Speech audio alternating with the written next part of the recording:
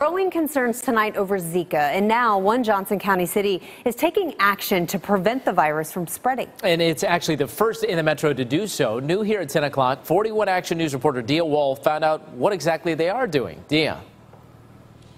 Yeah, Mike and Rianne, and Prairie Village is really taking a proactive approach to this thing. Workers are using these small, just $2 tabs with the hopes that it'll help stop the spread of Zika virus.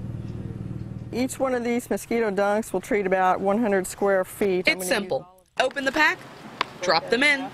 These are called mosquito dunks, and it's just one way Prairie Village is hoping to stop mosquitoes and the illnesses they carry. West Nile, Zika virus, um, just getting bit on, in itself is, is unhealthy. And that's terrifying to think that that could, you know, happen to someone. So, yeah, it's very scary. Meryl Cooper is a local mom who's aware of the risks of Zika, and she's not the only one. My pregnant friends, yeah, definitely. It's a, it's a big concern. I know a bunch of people who've been canceling trips to Mexico or, you know, south just just because you can never be too safe. Prairie Village Code Enforcement is tossing these rings into standing water. It keeps the mosquito uh, larvae from hatching. Meanwhile, Public Works is taking steps to stop the spread too. Sealing some cracks and treating some areas along drainage ditches also. This mom is thankful. I mean, I'm happy that they're doing something about it. It's my understanding it's moving this way, so we want to do everything we can to prevent that in our city.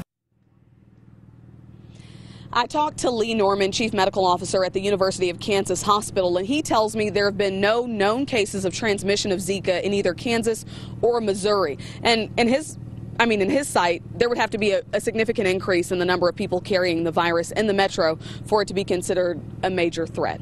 Reporting live in Prairie Village, Dia Wall, 41 Action News.